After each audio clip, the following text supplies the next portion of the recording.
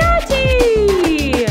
Feliz cumpleaños, Yati. Yeah. One happy birthday dot com.